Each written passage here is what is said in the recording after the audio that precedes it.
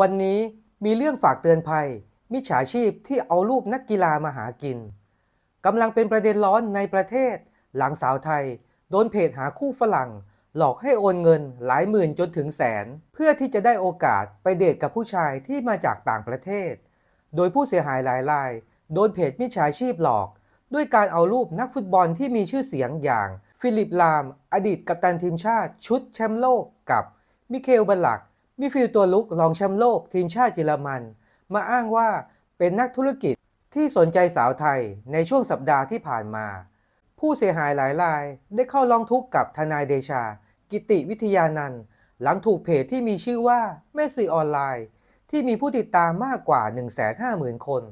หลอกให้โอนเงินหลายหมื่นจนถึงหลักแสน เพื่อที่จะได้เดทกับผู้ชายฝรั่ง หรือที่เรียกกันง่าย ๆ ว่าผู้ชายสายฝอนั่นเอง โดยมีค่าดำเนินการจำนวนเงิน 20,000 บาท เพื่อที่จะได้พบกับฝรั่ง ที่ทำงานรับราชการ สายเอกชน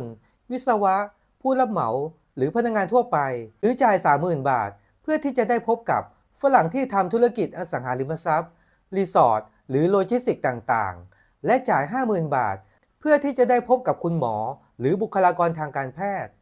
จากข้อมูลของเพจพบว่าลาห์มจากนักฟุตบอลทีมไบเอิร์นมิวนิก ได้กลายเป็นหนุ่มอังกฤษชื่อฟิลิปวัย 48 ปี ทั้งที่เจ้าตัวจริง ๆ อายุแค่ 39 ปีทำงานอาชีพด้านทำมูลนิธิ ส่วนบัลลัคที่ปัจจุบันอายุ 48 ปีแล้ว ถูกเปลี่ยนชื่อเป็นเควิน เป็นวิศวกรชาวอเมริกันวัย 42 ปี ซึ่งทางเพจแจ้งว่าทั้งสองมีความสนใจในตัวของผู้เสียหายอย่างมาก โดยการให้สัมภาษณ์ของผู้เสียหายในรายการขนกระแสพบว่า เป้าหมายหรือเหยื่อหลักของแม่สื่อออนไลน์ ที่เข้าไปใช้บริการในเพจนี้ ล้วนแต่เป็นแม่เลี้ยงเดี่ยวที่ต้องการหาผู้ชายดีๆ มีฐานะมาช่วยเลี้ยงลูกหรือใช้ชีวิตคู่กัน ส่วนในทางกฎหมายถามว่า